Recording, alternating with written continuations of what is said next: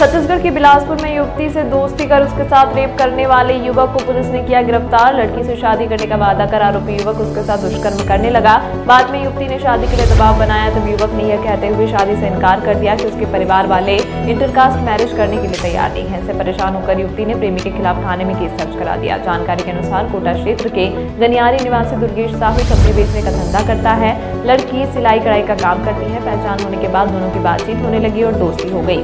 इस दौरान दुर्गेश साहू ने युवती से प्यार का इजहार किया और उसके साथ शादी करने का प्रस्ताव रखा। युवती भी उसकी बातों में आ गई और उससे प्यार करने लगी। बीते 14 सितंबर को युवक उसे घुमाने के बहाने सिविल लाइन क्षेत्र के होटल में ले गया, जहाँ उसके साथ दुष्कर्म किया। इसके बाद से वह लगातार शारीरिक संबंध बनाता रहा। कुछ समय पहले युवती ने जब अपने प्रेमी दुर्गेश पर शादी करने के लिए दबाव बनाना शुरू किया, तब युवक उससे पीछा छुड़ाने की कोशिश करने लगा।